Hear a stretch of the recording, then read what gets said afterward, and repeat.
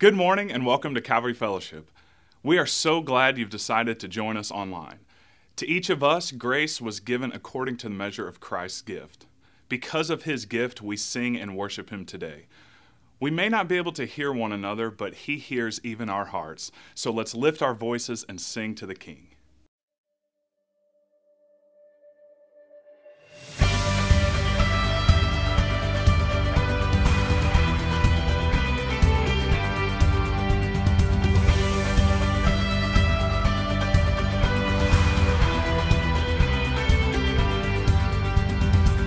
Lord, how you've loved me, I don't deserve grace on top of grace.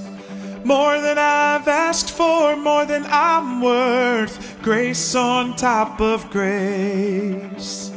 How sweet the sound, once lost, now found. Heaven came down and grace rescued me. I am free from my sin and penalty. At the cross, you took my place with your grace on top of grace.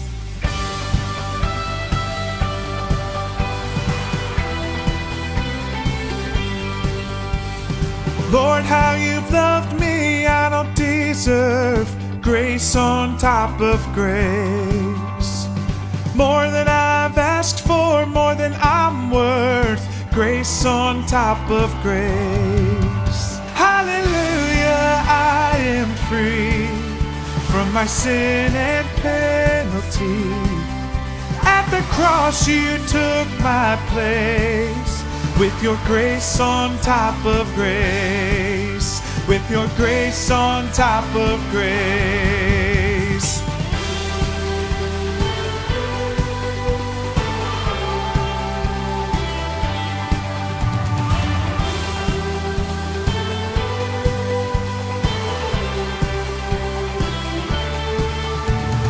How sweet the sound, once lost, now found. Heaven came down, and grace rescued me. How sweet the sound, once lost, now found. Heaven came down, and grace rescued me. Hallelujah, I am free from my sin and penalty. At the cross, you took my place with your grace on top of grace. Hallelujah, I am free from my sin and penalty. At the cross, you took my place with your grace on top of grace. With your grace on top of grace. Oh, with your grace on top of grace.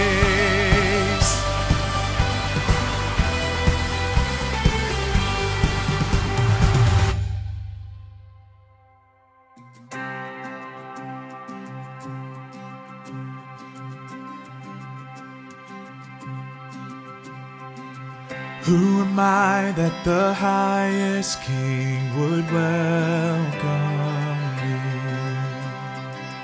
I was lost, but he brought me in. Oh, his love for me. Oh, his love for me. Who the Son sets free, oh, is free.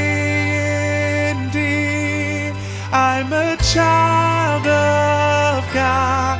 Yes, I am.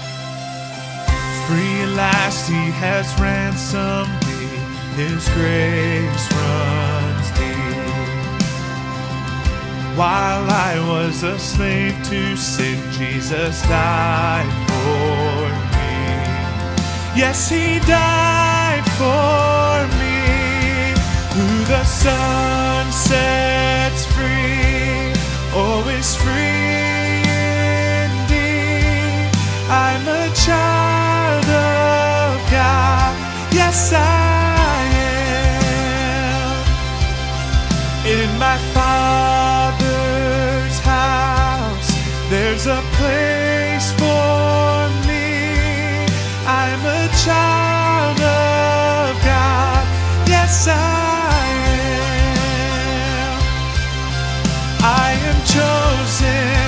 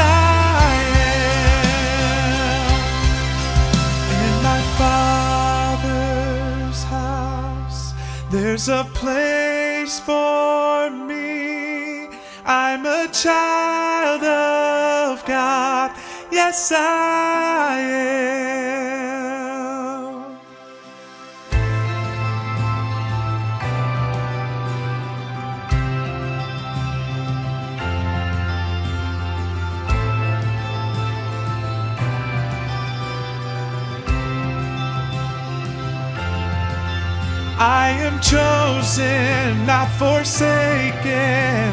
I am who you say I am. You are for me, not against me. I am who you say I am. I am chosen, not forsaken. I am who you say I am. You are for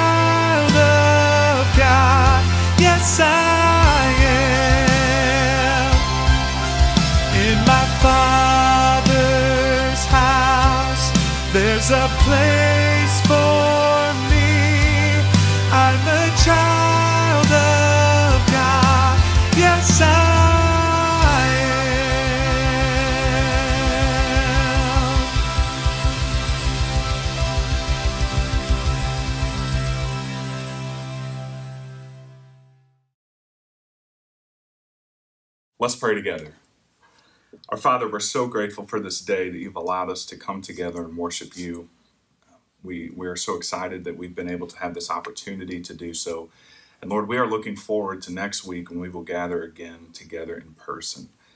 We are so thankful for your hand of protection over our church as we've just been able to um, see just only a couple people get sick and they are healing well. And we are so grateful for that. We praise you for that today, Lord. And um, as we meet together again, we ask that you would just have our hearts to be open, have our minds to be open for um, new ways that we can reach our community. We have a wonderful opportunity.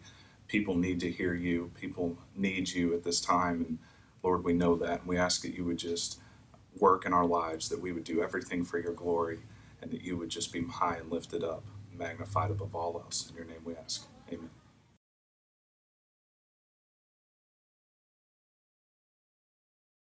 When our son Cole was born, he wasn't breathing properly. The nurses immediately put an oxygen mask over his face, and his color was normal. But as soon as they slid that mask off to the side, he immediately turned blue.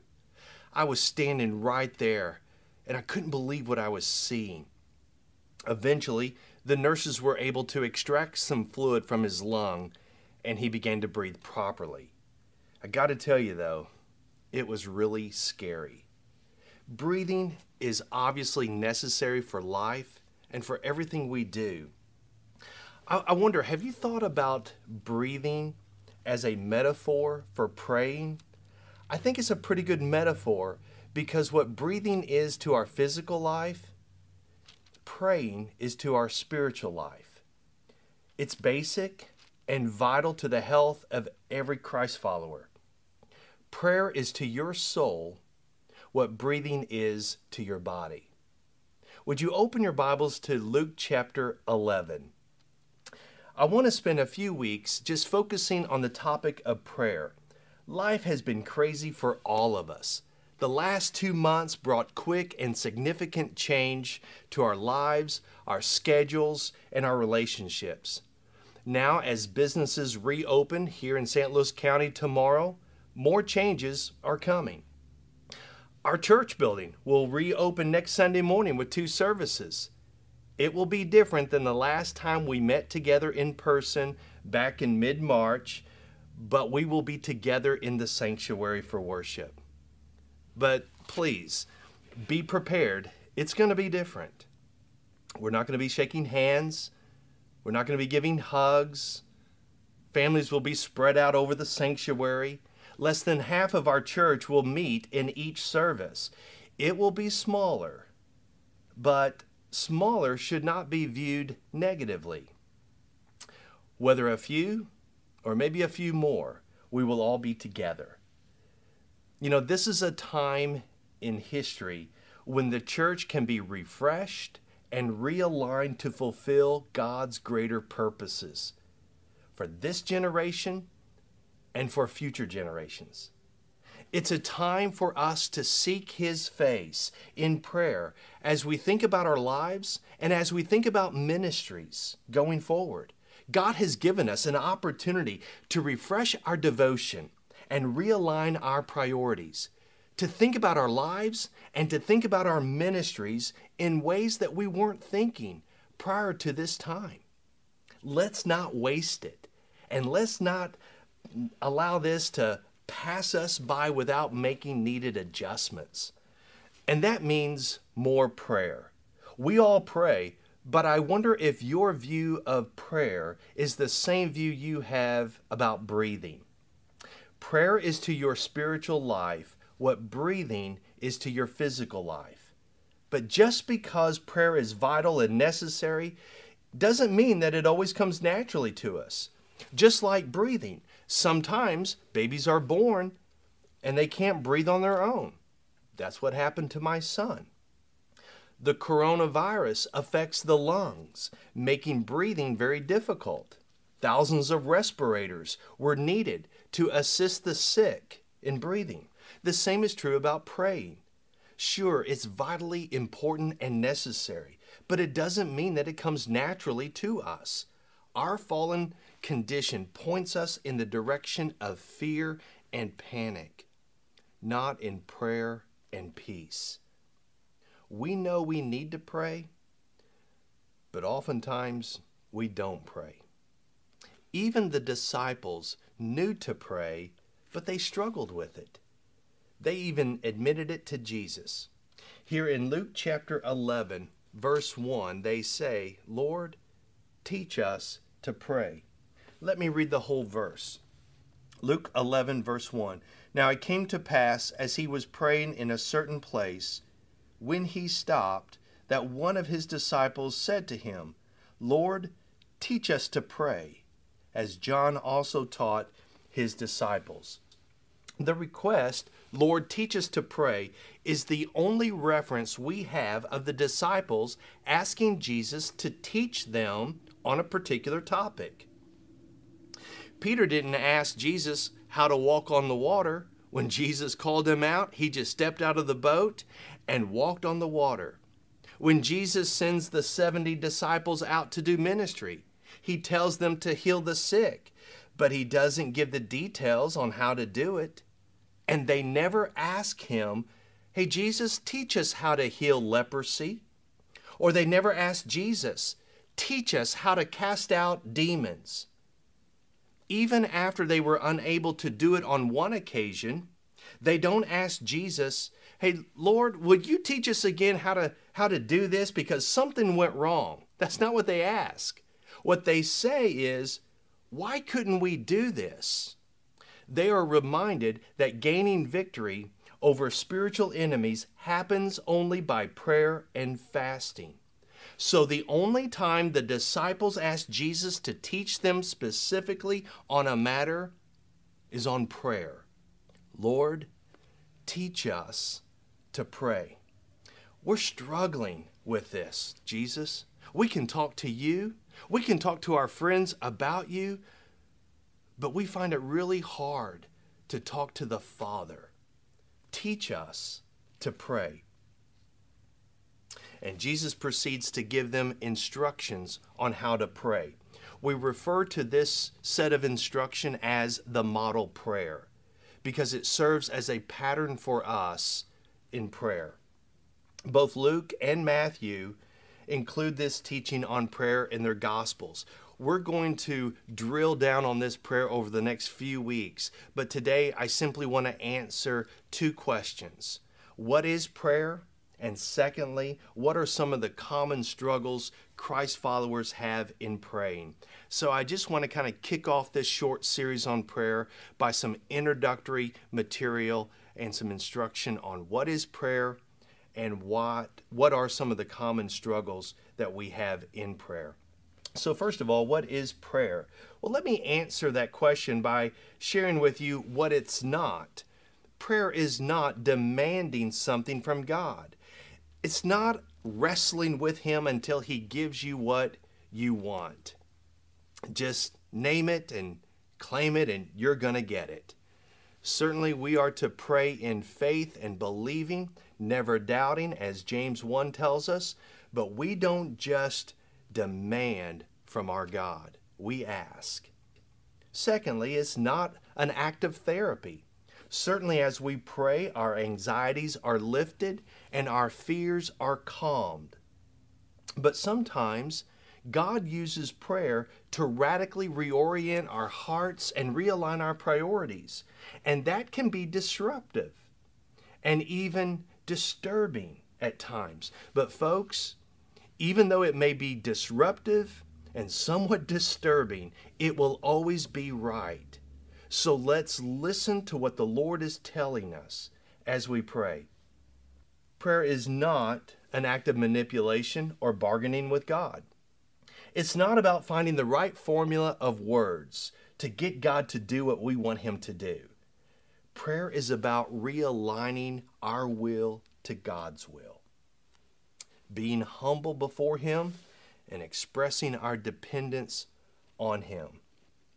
Prayer is not to inform God, but to be conformed by God. God is omniscient, He knows everything. But in praying to Him, we are expressing our desires and what's on our hearts as an act of worship to Him. True worship always leads us to be conformed into the image of Jesus Christ. So, prayer is communion with God. It's simply talking to God. Another definition of prayer that I really like is this it's calling on God to make good on His promises. It's based on the very first prayer in the Bible and on the last prayer of the Bible. Let me share it with you.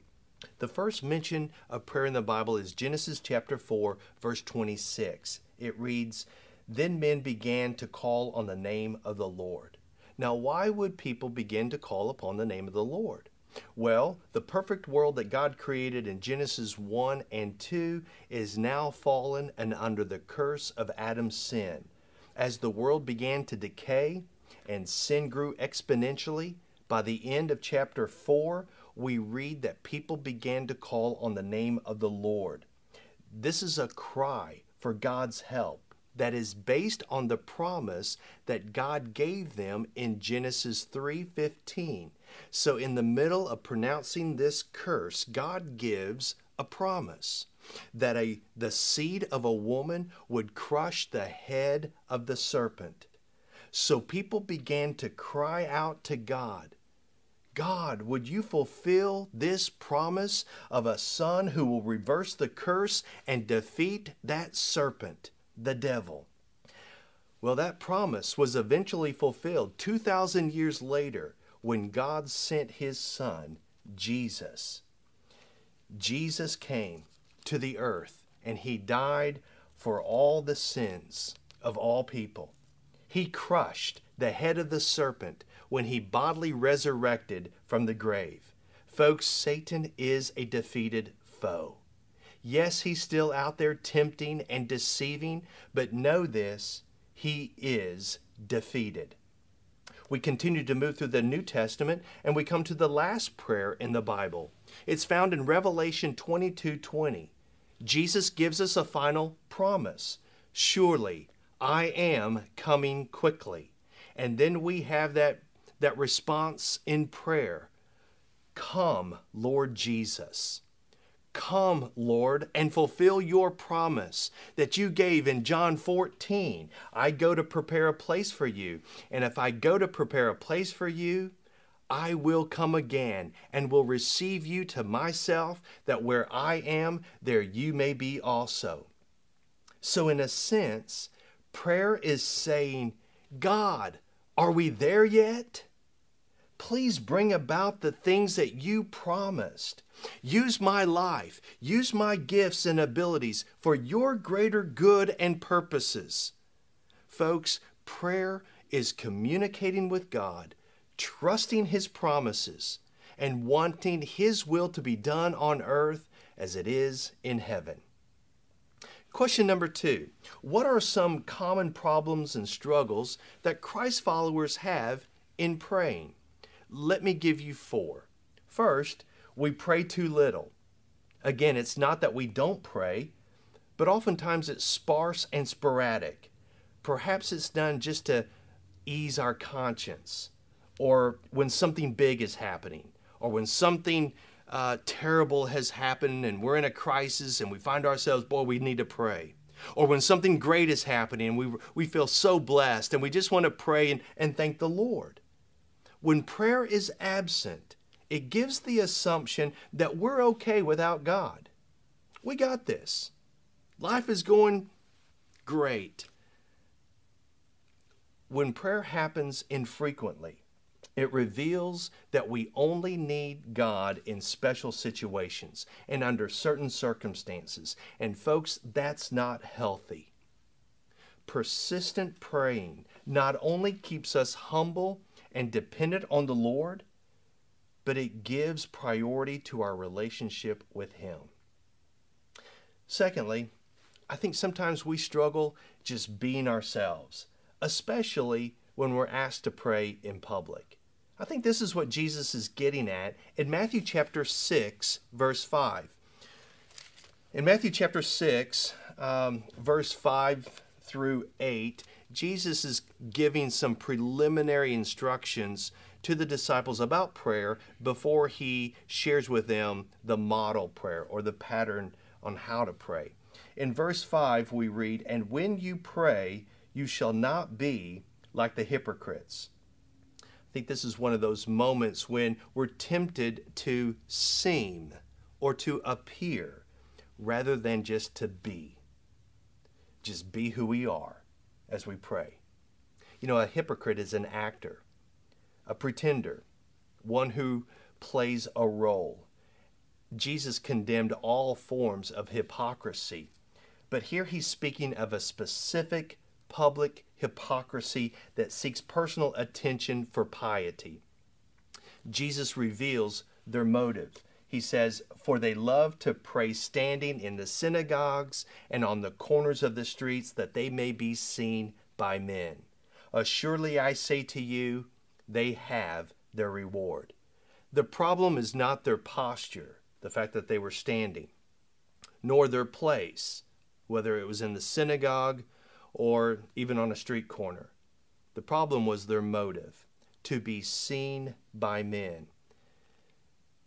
And the only reward they're going to get is man's reward. Man, that was an awesome prayer. Sure wish I could pray like that. Man, that just is really good. Well, yeah, you know, I'm I'm pretty close to God and, and whatnot. The hypocrite would love to just be heard and com- commended by others for the way they prayed. There's a caution here of desiring to sound impressive to others rather than leading others to worship God in prayer. Folks, if you are humble in your posture, pure in your motive, just be who you are. Just pray and be yourself. Thirdly, we struggle being alone and quiet.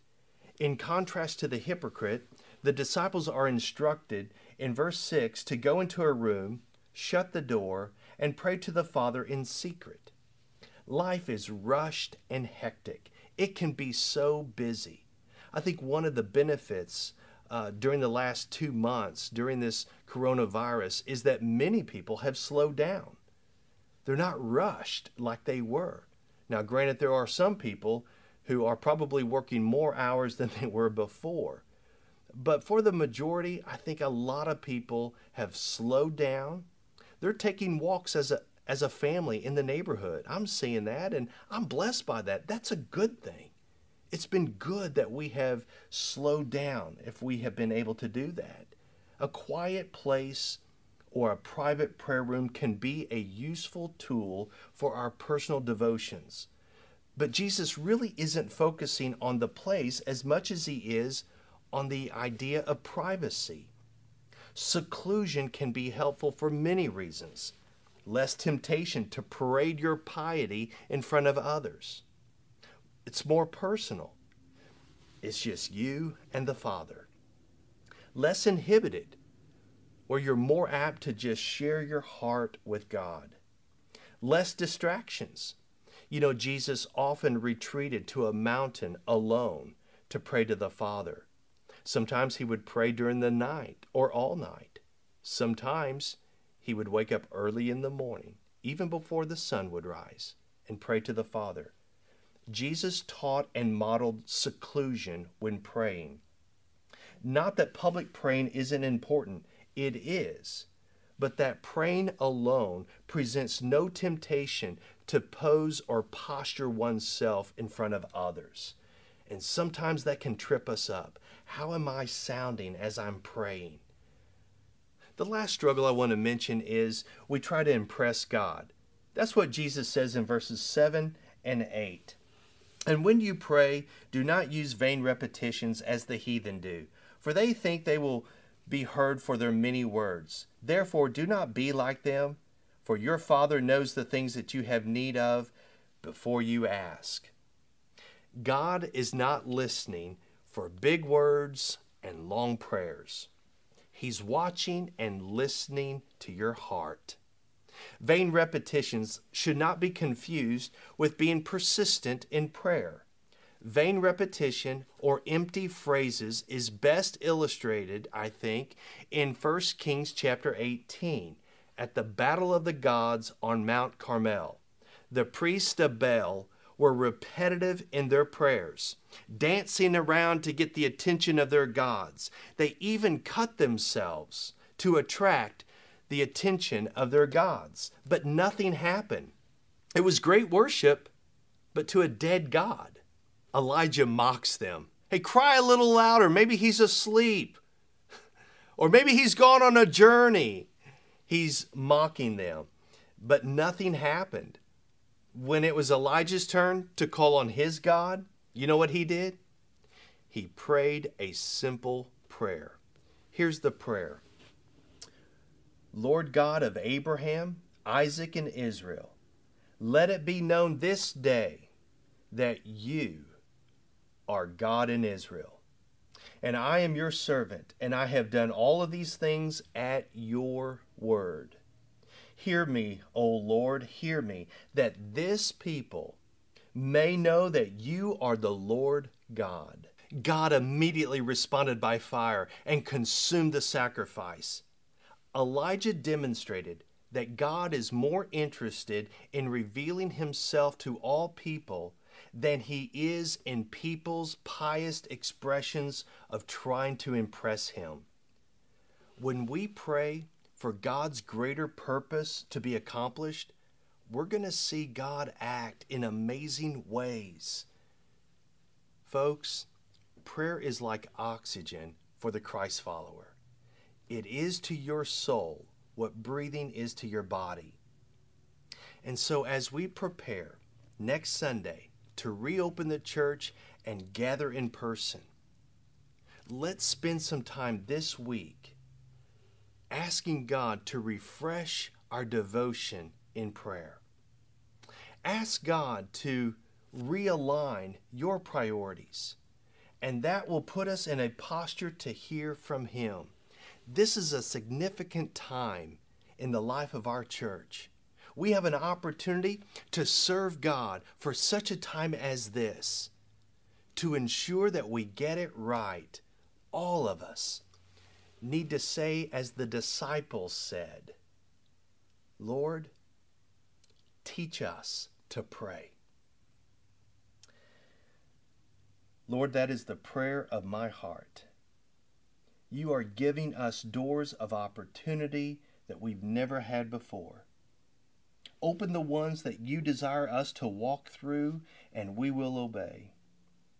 Refresh our devotion to you and realign our priorities to position us where we can accomplish your greater purposes. Your purpose of making disciples of all people. Every one of us, wherever we go, living on mission to lead people in following Jesus. In your name I pray. Amen. Thank you for being a part of our service today. We are so excited to reopen Calvary Fellowship next Sunday. We will be having two services on Sunday morning, but we will have no life groups or kids' classes. We're excited to worship together as families. In order to help us with social distancing, we are asking that if you sit on the left side of the sanctuary when you look at the stage, as highlighted on the screen, that you attend the 9 a.m. service. If you sit on the right side of the sanctuary as you look at the stage, as highlighted on the screen, we ask that you attend the 10:30 a.m. service. We understand that some may not quite be ready to return to in-person gatherings. So we will also be offering this pre-recorded service on Facebook and YouTube on Sunday morning at 10 a.m. We will also be sending out a video later this week to walk through what our Sunday service will look like next week. So keep an eye out for that. Calvary Fellowship, we love you and we miss you and cannot wait to see you again very soon. We hope that you have a great week.